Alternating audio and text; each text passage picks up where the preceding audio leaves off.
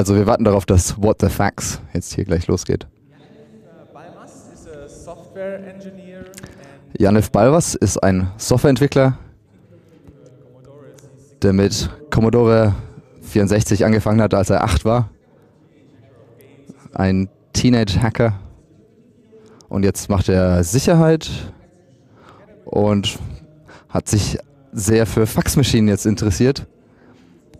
Äh, zusammen mit Eyal Kin, der auch ein Sicherheitsforscher ist.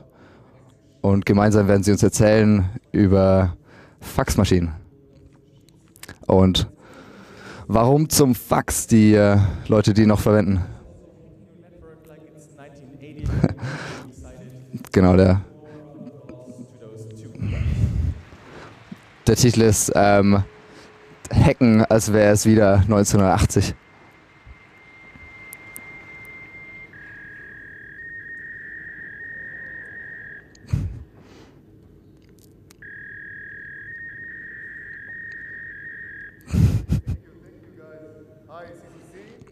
Danke, danke. Hallo CCC. Ihr kennt wahrscheinlich dieses Geräusch, was gerade kam. Mein Name ist Janif Balmers, ich bin äh, Sicherheitsexperte. Ähm, mit mir heute ist Eyal Itkin, auch ein Sicherheitsforscher, auch bei CPR ähm, Research. Ähm, lass uns über die Geschichte von Fax reden. Fax wurde ähm, erfunden 1846 von Alexander Bain. 20 Jahre vor der Erfindung des, ähm, der Glühbirne. Ähm, 1860 gab es dann das erste, die erste Maschine, die so aussah wie eine Faxmaschine. Wieder 20 Jahre vor der Erfindung ähm, des Telefons. Das heißt, äh, wir hatten Fax vor, bevor es Licht und ähm, Echtzeitkommunikation gab. Äh, 1923 dann Radiofax und 1966 hat Xerox, eine kleine unbekannte Firma, hat die erste kommerzielle Faxmaschine ähm, erstellt. Und 1980 hat eine komische Organisation ITU ähm, einen gemeinsamen Standard definiert. Äh, T30, T4 und T6 und die werden auch heute noch verwendet. Mit äh, kleinen Veränderungen. Das ist die Vergangenheit. Was, was ist heute los? Heute können wir doch viel besser elektronische Informationen senden. Also so, mir kommt sofort in den Sinn zum Beispiel E-Mail. Also was wir vergleichen jetzt hier ist ähm, eine schlecht gescannte Faxseite und eben eine E-Mail. Ähm, Qualität ähm, schlägt ähm, E-Mail, Fax, Accessibility, also Zugang, Zugänglichkeit auch. Äh, und Verlässlichkeit ähm, ist, wenn du einen Fax sendest, dann weißt du gar nicht, ob das angekommen ist. Ähm, also man, kommt, man bekommt eine Bestätigungsseite, ähm, falls es keine, kein Papier gab in der, auf der Empfängerseite, dann kriegt man trotzdem die Bestätigung, also es gibt keine äh, Verlässlichkeit äh, bei Fax. Und Authentizität, ähm, da können wir viel diskutieren bei E-Mail, aber es gibt jetzt ähm, äh, Public Key Cryptography. Ähm, für Fax gibt es absolut gar nichts in diese Richtung. Okay, wenn wir also auf diese Tabelle gucken, dann denkt man sich, wer zum Teufel würde Fax benutzen? Es ist 2018. Das äh, Faxgerät sollte in einem Museum gehen für tolle Technologie, aber sonst sollte das niemand mehr benutzen, oder? Ja, nein. Jeder nutzt noch Fax heute. Ähm, Fax wird benutzt, um zum Beispiel diese sehr kritischen äh, äh, Karten auf, äh, zu, nach, zu Schiffen auf, auf der offenen See zu schicken. Ähm, und selbst in der Wikipedia sind hohe Prozentzahlen von Faxnutzern. Wenn du Kontext hast und Fax suchst, dann findest du einfach irgendwie 300 äh, Millionen offen, öffentliche Faxnummern äh, auf Google. Und das äh, sind ja noch nicht mal die unveröffentlichten Faxnummern auf Google. Aber es geht nicht nur um Zahlen, es geht nicht darum, wie viele Faxgeräte da draußen sind. Es geht auch darum, wer benutzt Fax. Wenn du eine kleine Firma bist oder eine große Firma bist, jeder hat Fax. Nicht unbedingt jeder schickt Fax äh, auf Faxnummern, aber äh, es geht, also alle Firmen haben noch Faxen, wenn du Faxnummern. Wenn du eine Bank bist, Banken lieben Faxnummern. Das ist äh, Bank of China, die größte Bank der, der Welt und die, sie haben eine Faxnummer und wenn du irgendwie eine Regierungsorganisation bist, dann wachst du einfach auf in Morgen und möchtest gerne mehr Fax-Nachrichten äh, haben. Äh, ja, wollte ihm einen Fax schicken. Äh, viel Spaß, leg los. Wir sollten ihm etwas äh, faxen. Die Sache ist, diese Banken, die Regierungen, die Institutionen, die unterstützen nicht nur Fax, also dass du ihnen einen Fax schicken kannst, nein, es ist sogar oft auch gezwungenermaßen nötig, äh, ent entweder per Post oder per Fax die Informationen zu ihnen zu senden. Äh, das sieht mir sehr verrückt aus. Das kann irgendwie nicht wahr sein. Die Menschheit ist so weit gekommen und wir nutzen immer noch diese alte Technologie. What the fuck? Äh, was zum Fax? So, also wir haben überlegt, wir sollten was da, dagegen tun. Wir sollten da was machen. Und deswegen haben wir angefangen, Sicherheitsforschung zu betreiben und Sicherheitslücken im Fax zu suchen. Okay, aber bevor wir darüber reden, möchte ich kurz äh, einführen, wie Fax heute aussieht. Fax sieht heute nicht mehr aus wie vor 20 oder 30 Jahren. Es war einfach eine Faxmaschine für sich alleine. Heute ist es meistens alte Technologie in neue Technologie verpackt. Wir könnten zum Beispiel Fax äh, auf E-Mails schicken oder E-Mails äh, zu Fax weiterleiten. Wir haben Radiofax, wir haben Fax über Satellit und so Zeug. Die meisten dieser Sachen und üblicherweise haben wir diese Geräte. Alles in einem Drucker. Du kannst drucken, scannen und natürlich auch faxen. Es kommt mit einem Telefonkabel in, in, in, der, in der Verpackung. Du kannst es einfach direkt einstecken und ich glaube, das ist die üblichste Faxlösung heutzutage. Deswegen haben wir uns das angeschaut. Wenn man da auf diese Kisten schaut, wenn man die sich anguckt von der Sicherheitsseite her, dann kann man sie als, als äh, schwarze Kisten sehen, Blackboxes. Auf der einen Seite gibt es irgendwie Schnittstellen wie WLAN, Bluetooth, Internet, sowas alles. Diese Schnittstellen verknüpfen den, die, das Faxgerät im, im äh, internen Netzwerk. Und auf der anderen Seite gibt es diese kleine Schnittstelle, dass äh, die diese schwarze Kiste, diese Blackbox irgendwo in 1970er Jahre verknüpft. Das ist schon eigentlich ziemlich lustig, wenn man sich jetzt noch äh, überlegt, dass am Ende des Tages diese Drucker nichts anderes sind als Computer. Die haben eine CPU, die haben Speicher, die haben Betriebssysteme. Das sind Computer, nicht die Standardcomputer, aber es sind Computer. Und wir haben an uns gedacht, stellt euch mal das vor, so ein Angreifer irgendwo auf der Welt hat Zugriff auf eine Telefonanlage und diese Zielfaxnummer. Und was passiert, wenn dieser Angreifer ein, ein korruptiertes Fax äh, an, den, an dieses Gerät schickt und dann sozusagen den, den Drucker, ähm, einen Drucker-Exploit ausnutzt, dann kann er quasi vielleicht über irgendeines dieser anderen Schnittstellen von dort aus in das restliche Netzwerk äh, eindringen und äh, unterm Strich ein, ein, ein, eine Brücke macht zwischen seinem externen und dem internen Netzwerk. Und das ist 1990er Technologie. Wir haben gesagt, Challenge accepted, lass uns das mal ausprobieren. Äh, wir waren da richtig aufgeregt. und dann haben wir ein bisschen geschlafen und als wir dann wieder aufgewacht sind und haben wir, bisschen, haben wir das ein bisschen besprochen. Da sind ganz viele ähm, schwere Aufgaben mit dabei. Wir sind nicht so richtig sicher, wie wir das hinkriegen sollen. Ähm, eines dieser Probleme ist, wie kommen wir an die Firmware ran?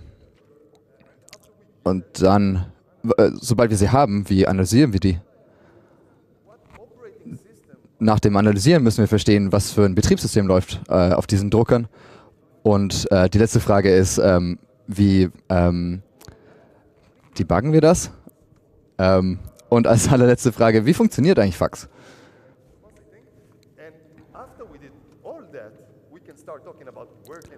Und alle, als allerletztes können wir dann ähm, darüber reden, ähm, wie ähm, finden wir da eigentlich die Schwachstellen. Und äh, heute in diesem Talk ähm, werden wir da durchgehen und werden, werden dieses Szenario einmal durchspielen. Also, los geht's. Ähm, wie kommen wir an die Firmware von diesem Drucker ran?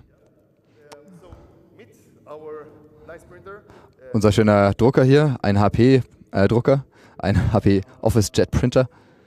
Ähm, wir haben das Modell herausgesucht, ähm, weil HP 40% Marktanteil hat. Ähm, äh, da haben sie leider Pech gehabt, aber sie sind einfach das größte Ziel da draußen. Ganz viele Gründe, warum wir dieses Modell herausgesucht haben. Es ist das billigste. Wir hatten kein großes Budget, also haben wir das gekauft. Und unser Ziel war es, äh, Fax, ähm, in Fax einzudringen. Und vorher mussten wir den, äh, den Drucker kaputt machen. Jetzt hier, da sieht man ein Bild, da haben wir es kaputt gemacht. Und in dem Drucker haben wir ähm, diese äh, Karte gefunden. Ähm, hier sind die kritischen Komponenten. Das ist ähm, Flash-ROM äh, und ähm, Speicher. Das sieht nicht nach sehr viel aus. Ah, da, da gibt es noch eine andere Seite. Auf der anderen Seite sind die interessanteren Komponenten, USB, WLAN, ähm, mehr Speicher, Batterie. Und hier sind zwei sehr interessante Komponenten. Das ist die, äh, der Hauptprozessor. Da, das ist von Marvel. Ähm, das ist proprietär, das heißt, ähm, es gibt keine, keine Beschreibung. Wir, man, man findet hier und da ein bisschen Information darüber, aber es gibt da keine Beschreibung.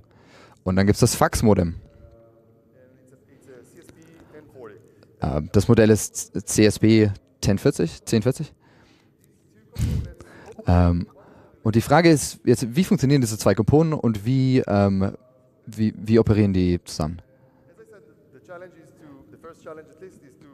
Und die erste Aufgabe, wie gesagt, ist äh, an diese Firmware herankommen.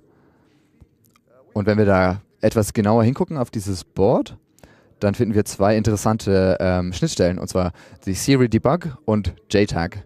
Ähm, wenn ihr die kennt, ähm, die, mit denen kann man eben debuggen ähm, und Speicher überschreiben. Und wir, da haben wir uns angelacht und gesagt, ja, das ist ganz einfach. Aber leider doch nicht ganz so einfach. Ähm, ist leider alles ähm, ausgeschaltet. Ähm, an den Siri-Port haben wir es geschafft, äh, uns da anzuschließen. Aber für, als wir angefangen haben, da ähm, Kommandos einzugeben, ähm, kam da immer der gleiche Fehler zurück. Und zwar, ich verstehe das nicht. Also mussten wir schauen, ähm, ob es irgendwelche anderen Wege gibt, wie wir an diese Firmware rankommen. Die ähm, einfachste Methode wäre natürlich, an ähm, ein Firmware-Update ähm, äh, ranzukommen. also haben wir diesen Juwelen gefunden, eine FTP-Seite, ähm, wo jede Firmware-Version ähm, äh, von jedem Modell, das HP äh, erstellt, ähm, finden konnten. Und ähm, das hat also etwa zwei Wochen ge gedauert, bis wir äh, das richtige Modell gefunden haben auf dieser Liste.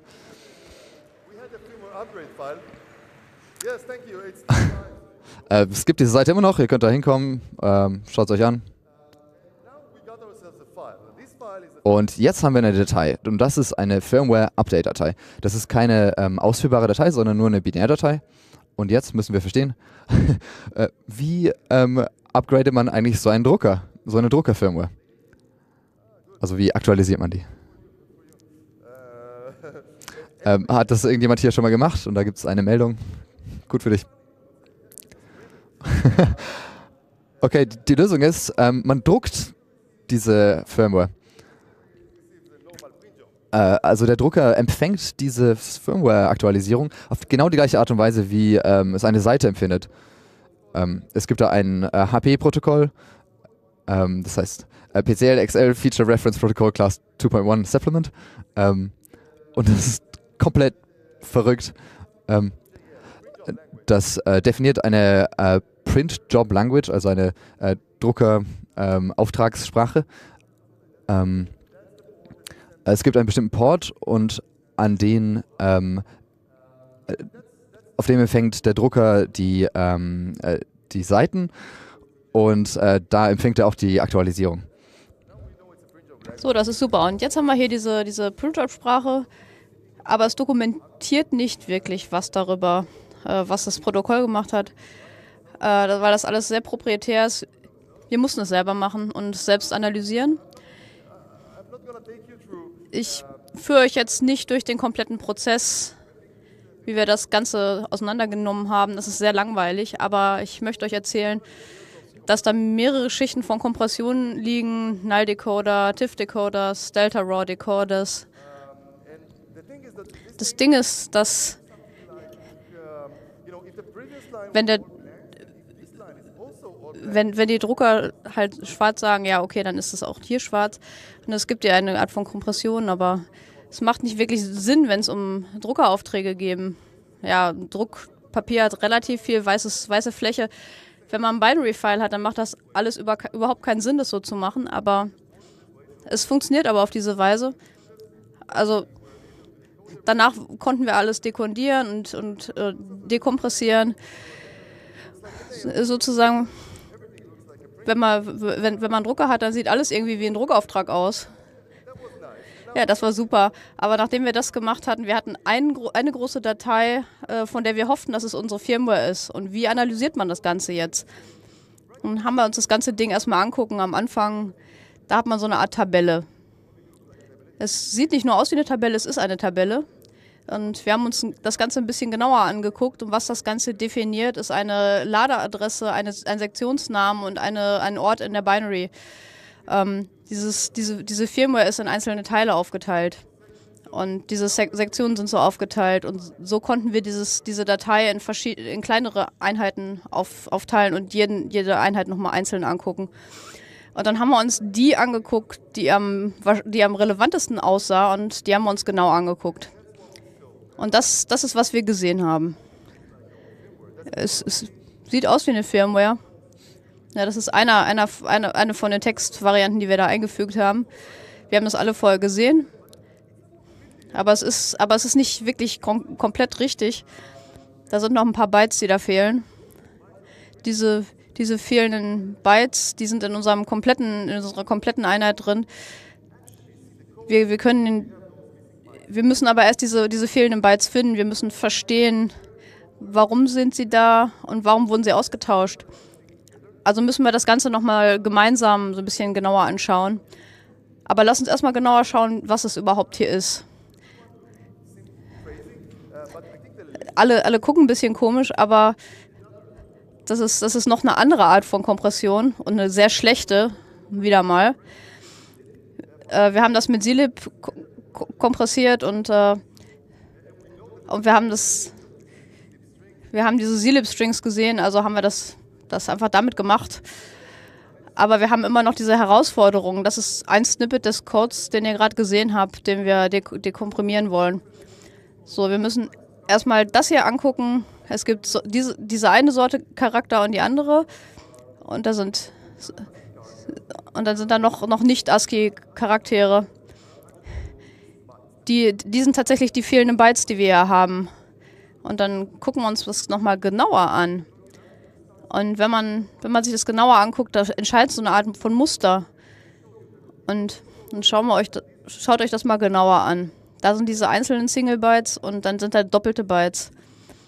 Und die, der Abstand, der scheint immer relativ gleich zu bleiben. 9 Bytes, 8 Bytes, immer wieder. Und was bedeutet das? Wo ist hier das Muster? Wenn man auf dies ein bisschen anders schaut, dann gucken wir uns das mal so an. F7 und F7, die, die, die, sehen gleich aus. Da scheint wirklich irgendein Muster zu sein. Um dieses Muster zu, zu erkennen, muss man das Binary nochmal genauer angucken. F, FF ist 8 Bits. Und wenn man das konsequent für alle diese Blöcke macht, dann fängt man an, das Muster zu sehen.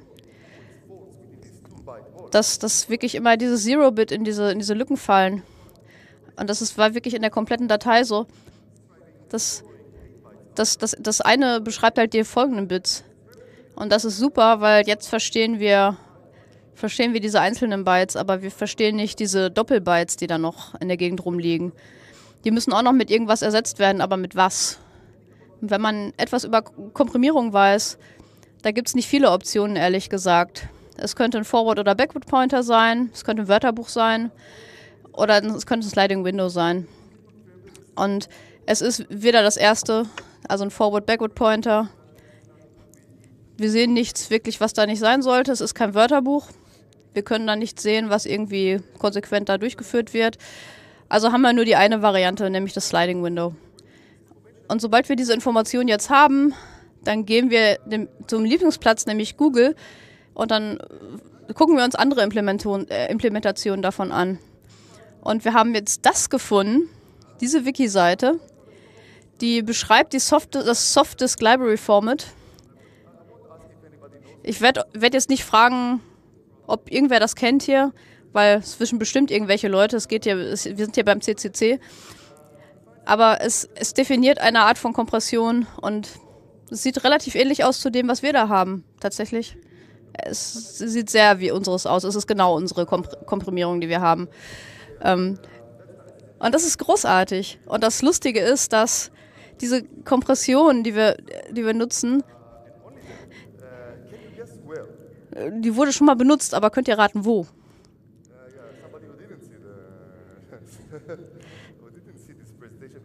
Ja, und es wurde tatsächlich in Commander Keen benutzt. Und der, der gleiche Kompressionsalgorithmus hat es irgendwie in diesen HP-Drucker geschafft. Warum auch immer.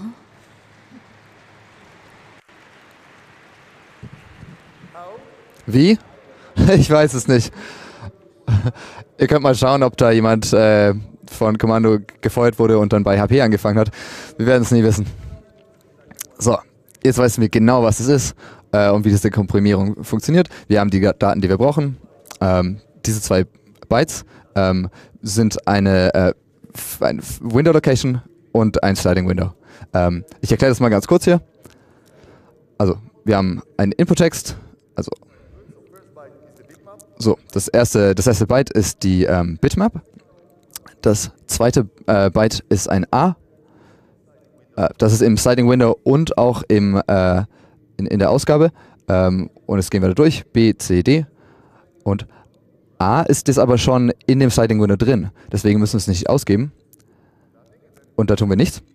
Äh, wir gehen auf B. Das ist schon drin im Sliding Window. Und dann gehen wir auf E und dann schreiben wir 0002. Und das bedeutet, geh in dem Sliding Window auf zu Position 0 ähm, und kopiere zwei Bytes. Ähm, und dann geht es so weiter. Wir schauen uns E, F, G an. Ähm, und da kommen die äh, Bitmap-Werte äh, her. Wie, also so wird das produziert. Ähm, um das äh, von der anderen Seite anzuschauen, das ist ein bisschen komplizierter, aber ähm, jetzt können wir alles reden, äh, lesen. Und ähm, als nächstes müssen wir verstehen, was bedeutet dieser Code. Ähm, aber dafür müssen wir zuerst wissen, was ist das für eine Architektur, was, was ist das für ein Betriebssystem und so weiter. Ähm, das, hat uns, das hat eine Weile gedauert. Ähm, äh, ich werde es mal kurz erklären. Also das äh, Betriebssystem heißt ThreadX. Das ist ein ähm, Echtzeitbetriebssystem. Ähm, es hat einige Komponenten, ähm, so Systemzeugs. Äh, ein paar gemeinsame Bibliotheken und äh, Aufgaben. Äh, das, sind, das ist das äh, gleiche wie ähm, Prozesse in einem normalen Betriebssystem. Ähm, in dem Systemzeugs, da gehört dazu ähm, äh, Netzwerkbibliotheken. In den gemeinsamen Bibliotheken sind halt äh, gemeinsame Bibliotheken. Und in den Aufgaben, ähm, das haben wir dann uns genau angeschaut und ähm, verstanden.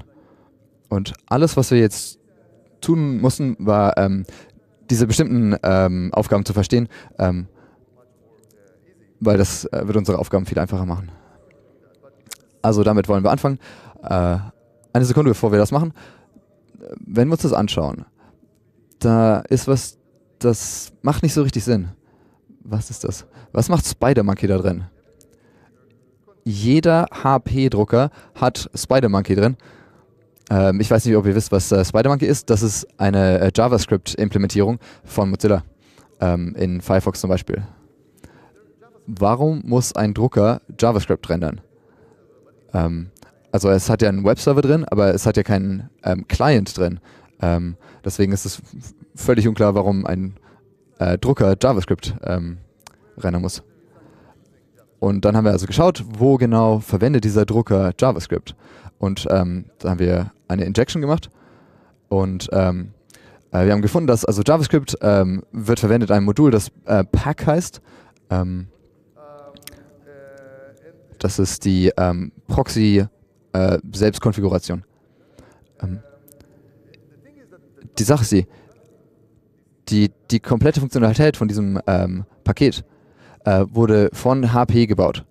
Wenn wir uns das anschauen, dann sehen wir diese Funktionalität und dann sehen wir so ein paar seltsame äh, äh, Strings da drin. Und was es als allererstes tut, ist, ähm, der, der, Drucker wird sich verbinden mit dieser URL. Äh, ich weiß nicht genau, wa warum.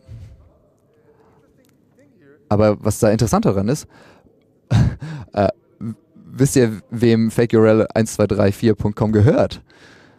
Es ist nicht HP. Es ist Checkpoint. Äh, es gehört mir. yep. Es war einfach nicht registriert. Also haben wir das für 5 Dollar registriert und jeder HP-Drucker verbindet sich mit meiner Domain.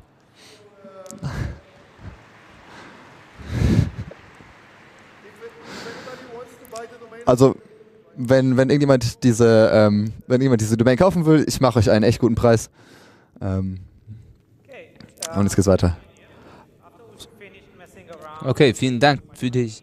Nachdem wir mit Spider-Monkey rumgespielt haben, was Zeit uns aufs Faxen zu konzentrieren, T30 zum Beispiel, äh, ist es ein Standard, der definiert, wie das Faxprotokoll funktioniert.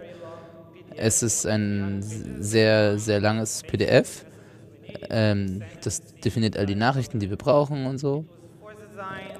Es äh, wurde 1985 designt und das letzte Update ist länger als zehn Jahre her. Das ist also eine sehr gute Idee aus unserer Perspektive, weil wir wollten äh, Verletzungen finden, Vulnerabilities. Und nachdem wir den Standard gelesen haben, haben wir dynamisch danach äh, Schritt für Schritt dann darin gesucht und nach T30-Aufgaben gesucht. Die Zustandsmaschine ist ziemlich groß, wie man hier sehen kann im IDA.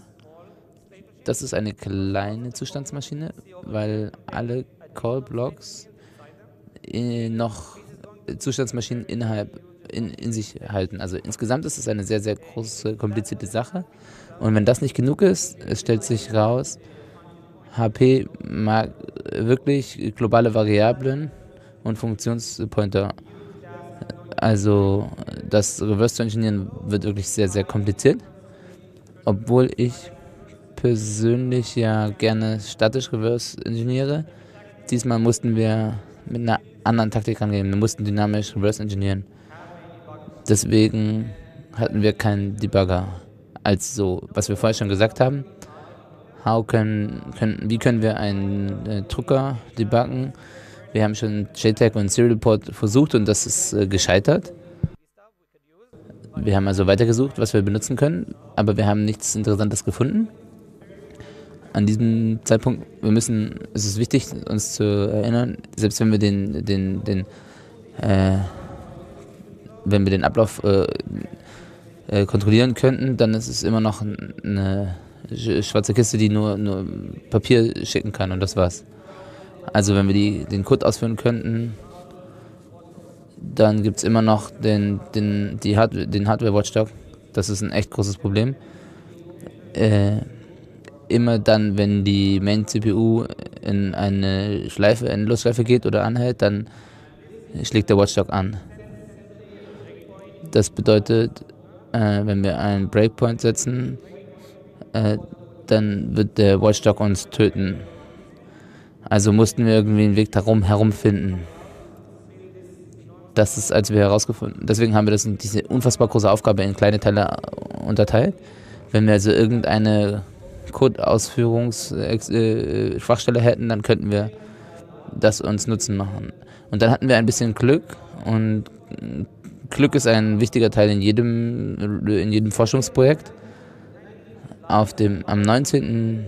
Juli gab es dieses Devil's Ivy. Äh, viele eingebettete Geräte und dieser Drucker auch implementieren einen Webserver für, für Management und Konfiguration. In unserem Fall wurde das genutzt und zwar die verwundbare Version von Ivy äh, und deswegen konnten wir sie ausnutzen. Für alle, die das nicht kennen, hier ist, hier ist der Code und da ist die Verwundbarkeit. Es ist ein, ein, ein Sign Integer Underflow. Man schickt genug Daten, dass der, dass der, der Integer vom Negativen ins Positive geht. Also wir müssen ungefähr 2 Gigabit von Daten dorthin schicken. Und das kommt jetzt nicht auf die Netzwerkgeschwindigkeit an, sondern auf die Geschwindigkeit des Druckers. Und wir konnten die Exploit-Zeit dann ungefähr auf sieben Minuten drücken. Ähm, man startet also den Exploit, dann wartet man und nach sieben Minuten hat man den Exploit. Und dann war das vorbei mit dem Glück, weil wir dann den Nebeneffekt hatten, dass es nach zehn Minuten ungefähr den Drucker zum Absturz gebracht hat. Das bedeutet, wir müssen wieder sieben Minuten warten, zwei Minuten zum Debuggen und dann wird es wieder abstürzen.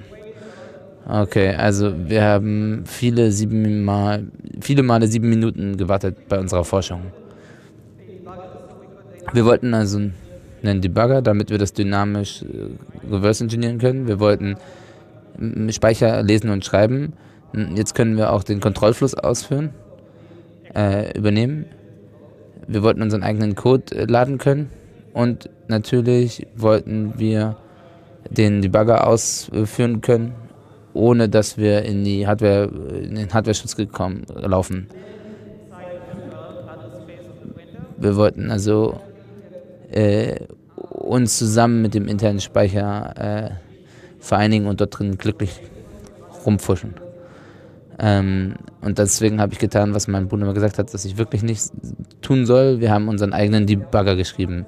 Das ist Scout. Scout ist ein äh, Instruction-basierter Debugger. Äh, es supportet die Architektur in unserem Drucker. Es hat einen Linux-Kernel-Mode. Es ist bei uns im Embedded-Modus. Wir haben es unterm Strich irgendwo in die Firmware geworfen und, und gehofft, dass es ausgeführt wird. Wir haben gute Speicheradressen genutzt. Und immer dann, wenn es irgendwie Memcall oder so aufruft, dann findet es die richtige Adresse und springt dorthin. Nachdem wir es kompiliert haben, haben wir es in unserem Exploit benutzt. Wir sind in diesen Blob gelaufen es äh, macht einen TCP-Server auf und dann können wir da Befehle hinschicken, um Speicher zu lesen zu schreiben und alles zu machen, was wir machen. Du ihr könnt Scout auf GitHub finden mit ein paar Beispielen für den Linux-Kernel-Driver und für die eingebettete Modus. Also ich kann das sehr empfehlen. Okay, jetzt, wo wir das hingekriegt haben, haben wir euch aber immer noch nicht beschrieben, wie so ein Fax wirklich funktioniert. Mit Scout könnten wir das dynamisch, die Firmware dynamisch reverse engineeren und jetzt beschreiben wir euch, wie ein Fax zum Teufel wirklich läuft, funktioniert. Wir brauchen also eine Sendemaschine, um einen Fax zu schicken. Wir brauchen ein sendendes Modem. Die Pakete von dem Modem werden in der CPU prozessiert. Und wenn sie abgearbeitet wurden, dann wird es wahrscheinlich vermutlich gedruckt.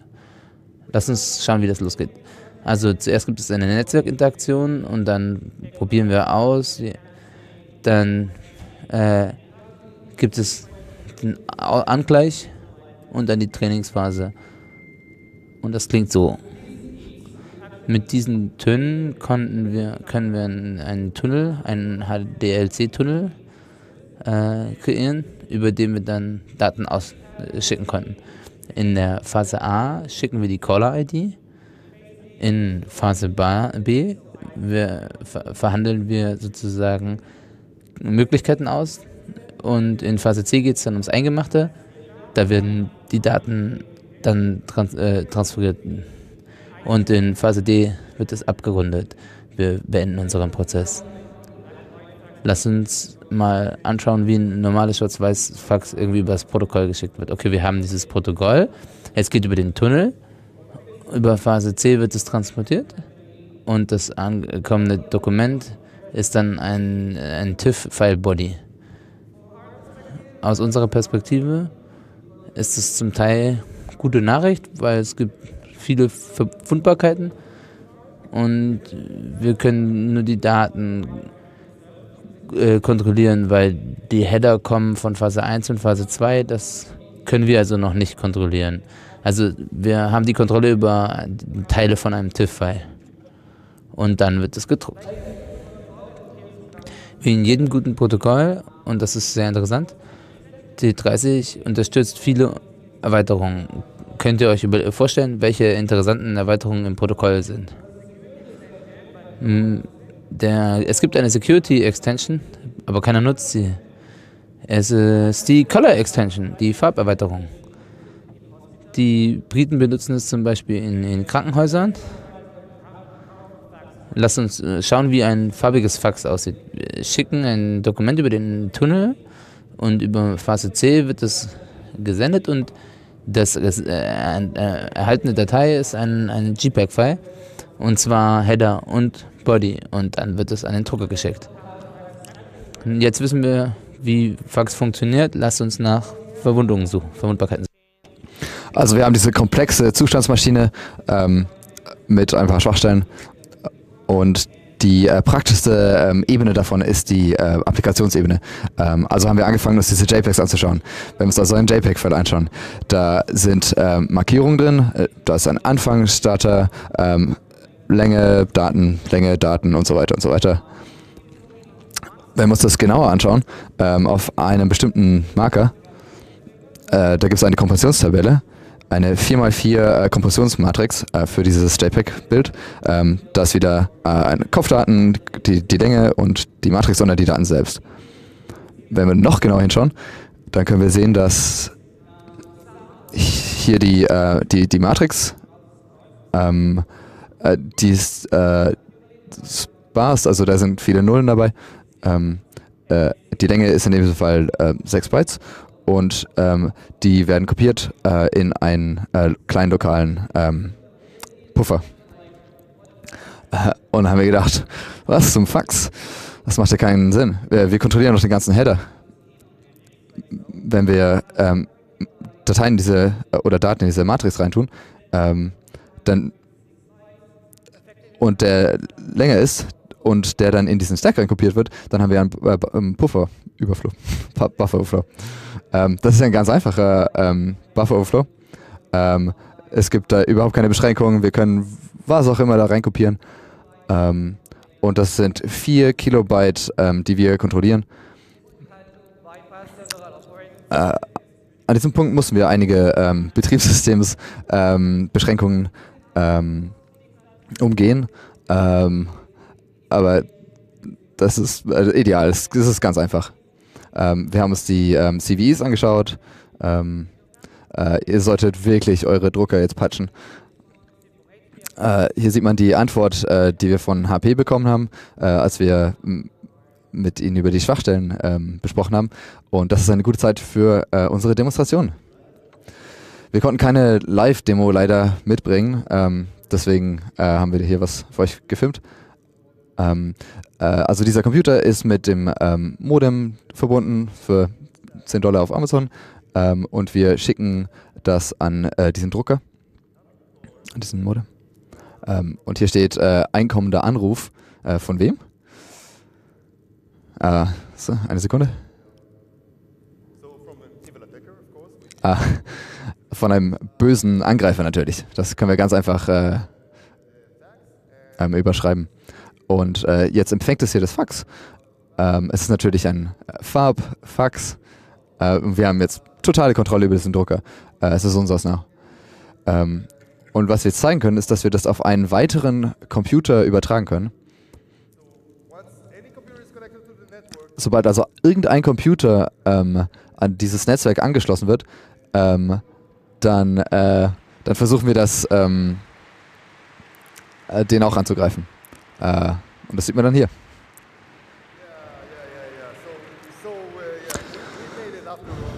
Wir haben es geschafft. Es hat lange gedauert. Ähm, äh, zur Zusammenfassung. Ähm, also PSN ist immer noch eine, ähm, eine Angriffsoberfläche in 2018. Ähm, äh, versucht einfach nicht Fax zu verwenden. Ähm, was könnt ihr tun, äh, um euch gegen diese Katastrophe zu ähm, verteidigen? Ihr könnt euren äh, Drucker patchen. Falls euer äh, Drucker ähm, äh, diese, diese, Schwachstelle hat. Ähm, das sind 300 Modelle, ähm, die da betroffen sind. Also tatsächlich geht hin, aktualisiert euren Drucker. Wenn ihr kein Fax braucht, dann verwendet es einfach nicht. Falls du tatsächlich Fax verwenden musst, dann versuch ähm, den Drucker so ein bisschen äh, ähm, separat zu behandeln von dem Rest von eurem Netzwerk. Ähm, und dann kann der Angreifer nicht das ganze Netzwerk übernehmen. Ähm, das hier sind wirklich gute ähm, äh, Vorschläge, aber, aber versucht einfach, also hört einfach auf, Fax zu verwenden. Vielen Dank, danke. Eine Sekunde, bevor wir hier aufhören. Äh, das hat wirklich lange gedauert, es war ein langer Weg. Äh, wir hatten äh, gute Freunde, die uns da ähm, geholfen haben, physisch, mental, technisch. Ähm, das hier sind die Leute, manche von denen sind hier. Ähm, äh, bitte Klatsch für die. Ein ganz besonderer Mensch, der uns hier geholfen hat, das war Jenna Livney. Das verdient er und das war's. Wenn ihr uns folgen wollt, ihr könnt es hier finden. Ähm, und vielen Dank.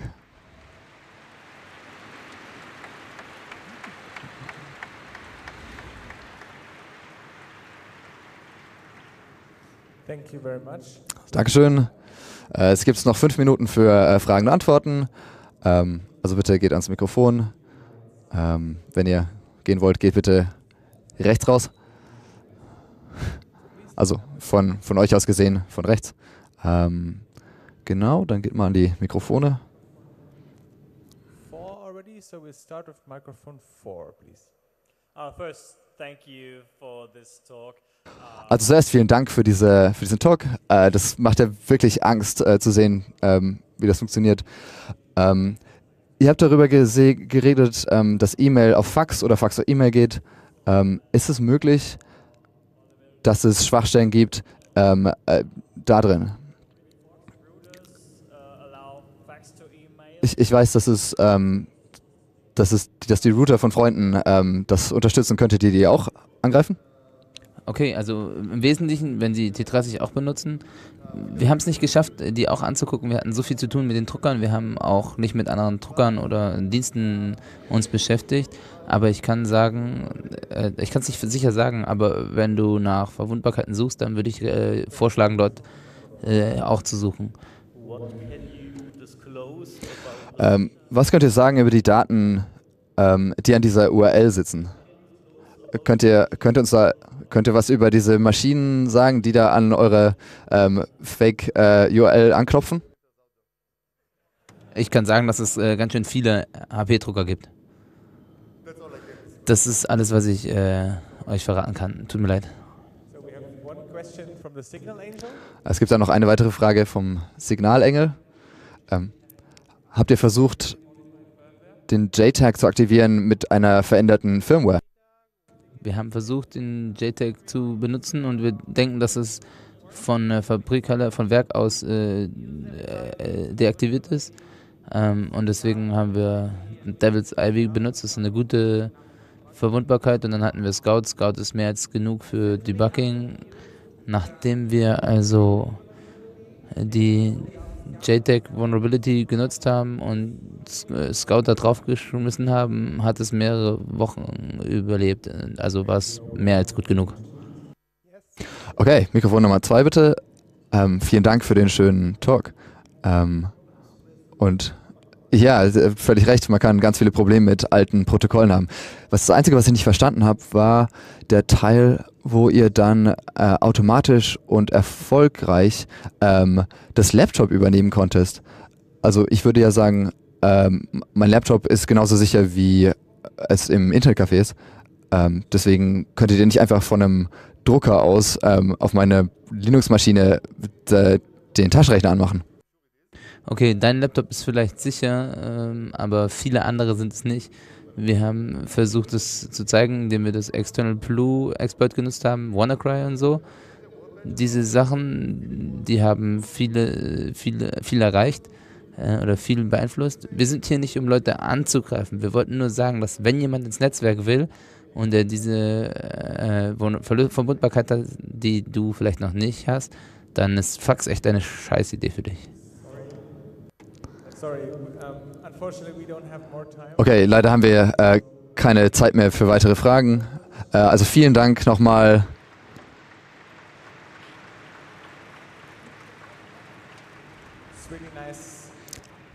Das war wirklich schön.